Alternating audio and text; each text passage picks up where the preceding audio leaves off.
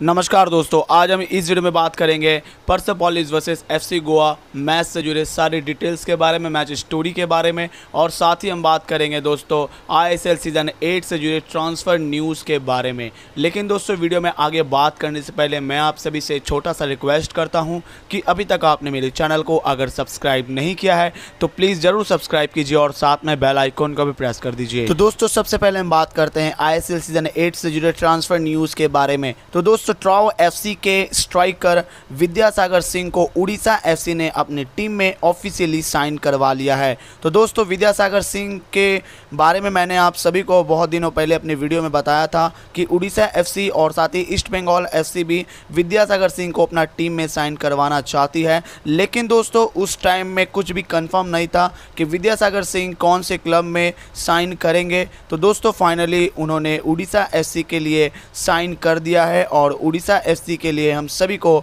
ISL season eight में विद्यासागर सिंह खेलते हुए दिखेंगे। तो दोस्तों ट्राव एफसी के लिए आई लीग में विद्यासागर सिंह ने जैसा परफॉर्मेंस किया तो बाकी आईएसएल कि टीमों ने दोस्तों इनको अपनी टीम में साइन करने के लिए मजबूर हो गया। क्योंकि दोस्तों इनका परफॉर्मेंस बहुत ज़्यादा शानदार था और इनके परफॉर्मेंस के दम पर दोस्तों अभी ये आईएसएल खेलने वाले हैं। तो आशा करता हूँ कि उड़ीसा एफसी में विद्यासागर सिंह अच्छा खेल दिखाएँगे। इनको प्रॉपर गेम टाइम मिलेगा और दोस्तों अच्छा खेलेंगे दोस्तों विद्यासागर सिंह। तो चलिए दोस्तों, अब हम बात करते हैं परसापोलिस एफसी और एफसी गोवा मैच से जुड़े सारी डिटेल्स के बारे में। तो दोस्तों फ़र्स्ट आप में एफसी गोवा दोस्तों, एक गोल करने में कामयाब हो जाती है परसापोलिस एफसी जैसे बड़ी टीम को। तो दोस्तों, चौदहवें मिनट में एफसी गोवा को एक फ्री किक मिलता है और लॉन्ग फ्री किक से दोस्तों, ब्रैंडन फर्नांडिस सीधे एडुबेडिया की तरफ़ क्रॉस करते हैं और एडुबेडिया हेडर लगाकर दोस्तों, गोल कर देते हैं और मैच का स्कोर हो जाता है चौदहवें मिनट पर दोस्तों,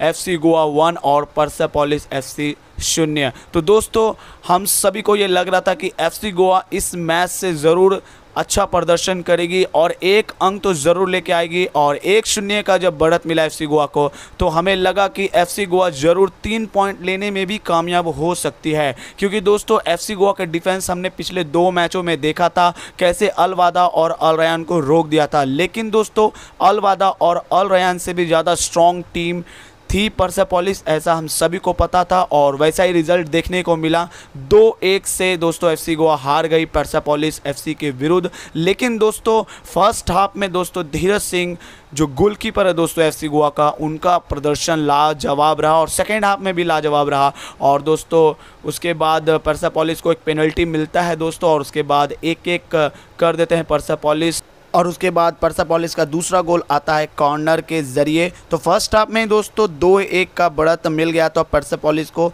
लेकिन एफसी गोवा के पास भी एक शून्य का बढ़त था, लेकिन वो बढ़त को बरकरार नहीं रख पाए। और आदिल खान के बारे में मैं बोलना चाहता हूँ क्योंकि दोस्तों, आदिल खान का परफॉर्मेंस बिल्कुल ही, हालाँकि उन्होंने 15 से 20 मिनट खेला, लेकिन दोस्तों, बिल्कुल भी वो मैच में नहीं लग रहे थे। उनका कॉन्फिडेंस काफ़ी ज़्यादा लो लग रहा था। और इसीलिए दोस्तों, अमरजीत सिंह को, युवान फिरांडो 25 या 20 मिनट में ही दोस्तों आदिल खान से चेंज कर देते हैं। और उसके बाद दोस्तों एफसी गोवा अच्छा खेलती है डिफेंस में भी दोस्तों और अटैक भी बीच बीच में बना रही थी फ़र्स्ट हाफ़ में। लेकिन दोस्तों सेकेंड हाफ़ की अगर बात किया जाए तो सेकेंड हाफ़ में एफसी गोवा उतना ज़्यादा अटैक नहीं बना रही थी, पूरी तरह से डिफेंस कर रही थी दोस्तों।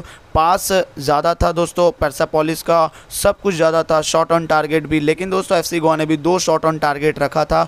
और धीरज सिंह के बारे में हम बात करते हैं। तो भाई, धीरज सिंह ने एफसी गोवा को बड़े मार्जिन से हारने से बचा लिया। क्योंकि दोस्तों, धीरज सिंह ने एक गोल तो पेनल्टी में कंसिड किया, लेकिन दूसरा पेनल्टी दोस्तों, धीरज सिंह बहुत ज़्यादा ज़ोर से लिया गया था वो पेनल्टी और वो सेव कर देते हैं। और उसके बाद भी दोस्तों धीरज सिंह ने काफ़ी अच्छे अच्छे सेव निकाली, जिसकी वजह से स्कोर हम सभी को दो एक ही देखने को मिला। धीरज सिंह ने तो शानदार सेव किया और एफसी गोवा को पूरे मैच में बना के रखा, लेकिन वो चौदहवें मिनट का इक्वलाइज़र के बारे में हम कैसे ना बात करें? क्योंकि दोस्तों हमारे इंडियन फुटबॉल का वो ऐतिहासिक मोमेंट था, जिस टाइम में एडुबेडिया ने हेडर के द्वारा गोल दागा। क्योंकि दोस्तों, इससे पहले हमारे इंडिया से किसी भी क्लब ने एफसी चैंपियंस लीग के ग्रुप स्टेज में क्वालिफाई नहीं किया और गोल तो दागने का दूरी का ही बात है। लेकिन दोस्तों एफसी गोवा को ग्रुप स्टेज खेलने का मौका मिला और एफसी गोवा ने अपना पहला ए चैम्पियंस लीग का गोल दागा और हमारे इंडिया से ऐसी पहली क्लब बन गई है, ऐसी पहली टीम बन गई है जिन्होंने दोस्तों एफसी चैम्पियंस लीग के ग्रुप स्टेज में गोल दागा हो और वो भी दोस्तों परसा पॉलिस जैसी स्ट्रॉन्ग टीम के अगेंस्ट में।